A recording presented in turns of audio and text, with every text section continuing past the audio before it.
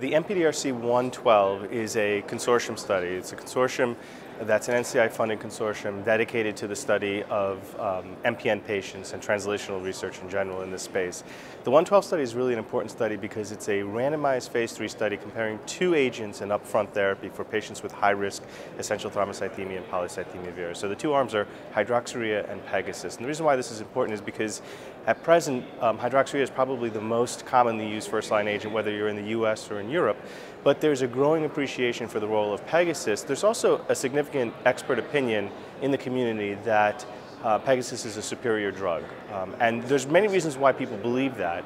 Um, one of them is that scientifically and biologically it does appear to affect the hematopoietic stem cell in a way that hydroxyurea is not believed to.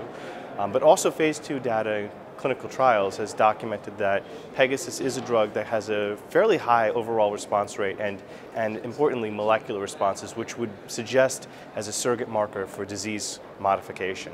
So this study is really trying to compare the two agents um, in a prospective um, fashion um, and what we're going to present uh, at ASH this year is the interim analysis of the study. So it's the first 75 patients enrolled to the study that have had an opportunity to complete one year of therapy. The, the primary endpoint of the study is complete response by consensus criteria by the ELN uh, at one year of therapy.